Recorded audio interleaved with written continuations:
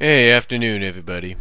You know, uh, after last night's last night's Monday Night Raw, and even though I didn't see it because I was watching um, the championship game, the the BCS championship game, and as well as eating some dinner, uh,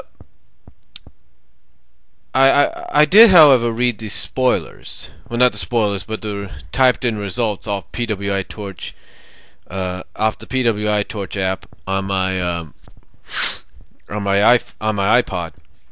So anyway, here's the deal. I'm watching I mean I'm reading this and then on occasions I did kind of switch it over to see what was going on. And I read that CM Punk, who is the new leader of Nexus, is going to do an initiation. He's going to initiate guys, um, Otunga, Harris, McGillicutty, Gabriel, and Slater. He's going to initialize them into the new, what he calls the new Nexus. So, at first I'm thinking, well, they're already part of Nexus. Why do they need to be initialized? And you know, what's funny is that when I was watching it, I noticed, and I and I read and I read this on the uh, on the app on the uh, on the report as it was being you know uh, you know updated almost 15 20 minutes or every 20 minutes. Uh, I was reading this and I and I also watched it and it seems that Nexus has gone from this logo here this logo right here that they originally started with to the broken logo which is kind of like a newspaper article broken into pieces with them in action which I thought was pretty cool. I thought this logo and the first one were okay. That's cool. It's got the N on there. It represents Nexus. Then, however, the T-shirts I saw him wearing last night still had the N on the on the on the uh, arm on the arm area, but on the arm sleeve, I should say, on the arm sleeve, but it didn't have the N in the middle. Instead, what it had in the middle was this. That's right. It had CM Punk's straight edge glove or straight edge tape fist up in the air with the lightning bolt, the circle around it, and painted yellow. Now we had seen that about a couple weeks before, and it was painted white. So you think to yourself, well, what does this mean? Well, apparently this is the new logo of the new Nexus. But this could also mean what a lot of people are afraid of. It could mean that Nexus is going straight edge. That's right. This could turn out the new Nexus could become the straight edge Nexus. Instead of the SES, we could have the SEN, the straight edge Nexus. I mean, and the way he initialized them, it's it's almost like, are you kidding me? It's like, are you kidding me? You you initialize a member into the group by one having them beat de- having them beat down by the other members of the group, which he did to McGillicutty. Two, you have them you have each member, including yourself, whip the other member that you're initiating in the back with whips, which they did to Harris.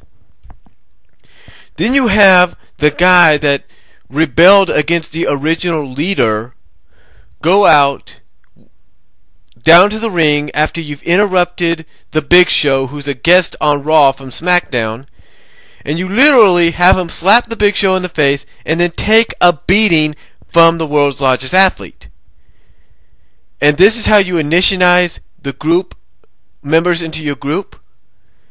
The only two that really didn't probably go through the initiation was Justin Gabriel and Heath Slater. Now the question is, what's going to happen to them? Well, they may stay on Raw and may become baby faces. Or they may end up on SmackDown and align themselves with Wade Barrett as the original Nexus, which I think would probably be a good good idea. But then again, they could have passed the initiation when they turned and when they turned towards Punk and it looked like they were going to hit him, but they didn't. So, three questions are raised from that one from the fact that Gabriel and Slater did not go through with their initiation.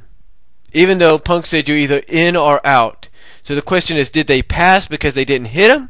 Or are they out and now probably heading to the SmackDown to become part of the original Nexus with Wade Barrett? That's the question. And, you know, some people said it was just weird last night. I mean, it was just weird. I mean, when they had uh, John Cena doing his address about what has happened, they had CM Punk on top of the Titantron on a harness. And they had him lowered down from this harness. And some people and somebody said this was almost like a slap in the face of what of Owen Hart. Like this was sort of like a slap in the face of Owen Hart because Owen had a harness and he fell to his death. We all know that. But the question is, but the question is, what is the future of Nexus now? Are they just a name? Are they following the same pattern that the NWO followed when they got brought into WWE? Because let's not forget, when the NWO got brought into WWE, everybody was happy about it. They were hope that this was something that a lot of fans were waiting to see. NWO, the the very group, the very rebellious group that turned wrestling upside down, made it into the rebellious, turned it, uh, basically turned it upside down, turned it into the rebellious, um, turned it into the rebellious time, rebellious era that we knew of, if you will. You know, this was an op- this was something back in 2002 that fans were happy to see because here was the like I said the very group that turned WCW, turned the wrestling world upside down, let basically helped lead the rebellious attitude era of wrestling. You know, basically ushered it in, and now here they were in WWE, the very company that they were helping to put out, trying to put they were hel- trying to help put out of business when they were in WCW. But unfortunately, they didn't last as long in WWE as they did in WWE eh, WWE as long as they like they did in WCW. No, they came in in February and they died off in the summer. That was it. So basically, you had February, March, April, May, June, and then come July, that was it. Only five months of NWO, and that was it. They were gone. They were gone. So the question is now: Is Nexus heading in that same direction? is this new logo that looks like a logo for the straight edge version of Nexus, the logo that spells Doom for Nexus. I mean, were they better off with the original logo and even a more improved version of it? Were they okay with this original logo or this more improved version? See, that's the question. That's the question. Will the straight edge logo that debuted last night be the end of Nexus overall? Because it looks like the way they were reinitialized, the way they were brought into this new Nexus, if you will, it looks like they're becoming the straight edge Nexus. That's the only way I could look at it. I mean, people at ADTV have voiced their opinions. People at the Wrestling Guru has, Gurus have voiced their opinions. I'm sure anybody on YouTube, Daily Motion, on the wrestling message boards all over have all voiced their opinions that if this version of Nexus goes in the direction of straight edge, it's going to ruin it. So the question is, is this logo going to ruin it? Is this the signal of straight edge Nexus? And if that's the case, is Nexus going to fall apart because of this? You know, that's the ultimate question. What's going to happen? Is Heath Slater and Justin Gabriel going to end up on SmackDown and form and come together with Wade Barrett as the original Nexus, which I think if that was to happen, it would be a great idea. But will it happen? See, that's the thing. Because quite honestly, a lot of fans are going to look at this original Nexus logo as well as the broken glass one or the broken up one and say that these are the logos that help make Nexus what it is today. And they're going to look at the straight edge logo that we're looking at and they're going to say this logo is going to kill Nexus. They're gonna it's gonna it's gonna kill it because all it's turning into is the straight edge version of Nexus, straight edge society version of Nexus. That's what a lot of fans are gonna look at. So the question is, so the question is, is this new logo that debuted last night, if you will, of Nexus going to spell the end for them? Is that is, is that the signal? Excuse me. Again, like I said, is that the signal? Is that is, is that the is that the nail? Is that going to be the final nail in the coffin? That will be the ultimate question. That is going to be the ultimate question. Is this going to be the final nail in the coffin of Nexus? Or will many will WWE wake up and realize we can't do this? This way we got to go back to what it was. But again, is this the final nail in the coffin? Because as somebody pointed out, you got five of the original seven members gone. David Otunga is the only original member. McGillicutty and Harris were added in after Hell in the Cell. We all know that. They were added in after Hell in the Cell. So McGillicutty and Harris have been there since October. Otunga's been there since about May. So he's been there from the beginning. And for him to stay in the group, all because basically, I don't know why, and then have Slater and Gabriel go off and probably go to SmackDown maybe and join Barrett as part of the original Nexus, we don't know what's going to happen. So the question is, so the question is, is this new straight edge version logo of Nexus going to spell doom for them? And were they were they better off just using the regular logo? Because yes, they still have the N on the side of the arms, on the side of the T-shirts they wear. But the question is, was it better just to have the N out where they could see it and know who you are, instead of having this saying, you know, hey, we represent the straight edge nexus. The question is, which is better? And is this new logo the uh, spelling of the end of nexus? That's the thing. That's the question I want to know.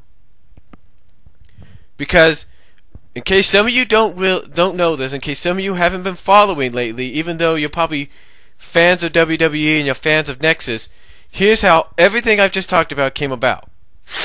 All right.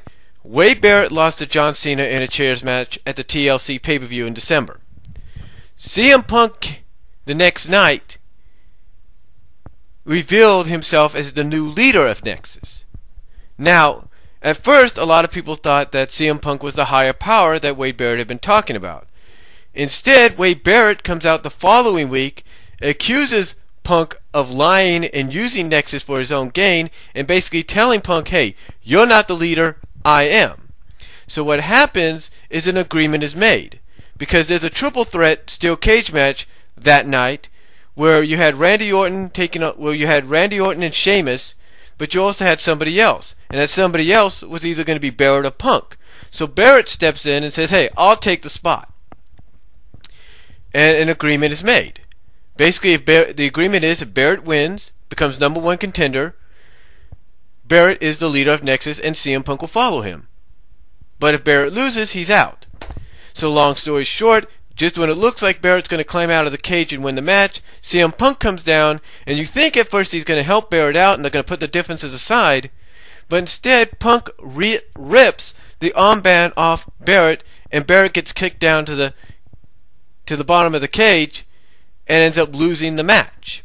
Then Barrett last week shows up on SmackDown attacking the Big Show. So now that leads us into where we were last night. So now the question is again, is this obvious? Is this what it looks like to be straight edge version of Nexus going to be the end of Nexus in general overall? Because like I said, the logos that you have seen flash at the beginning and in the middle, those logos represented the original Nexus everybody would look at those logos and they would say that's the Nexus that would have succeeded. But, was better. But they look at this one and the question will and the question is raised: Is this the logo? The new logo of Nexus, the straight edge logo of Nexus, is that the spelling of the end of Nexus overall? Is the straight edge Nexus, the S E N, apparently what it looks like, going to be the end of Nexus? That's the obvious question. Nobody really knows. I don't. I'm no fan knows. I mean, after the stunts they pulled last night, the way they initiated some of the members, you know, and, and the fact that you have Punk and had, the fact that you had Gabriel and Slater walk off, either you know, leaving up leaving another question up in the air: Are they still a part of the group? Are they not? I mean, having Punk on top of the Titantron on a harness. I mean, I mean, what the hell is going on? You know, what the fuck is going on? That's the question. Question that WWE is trying to throw at us.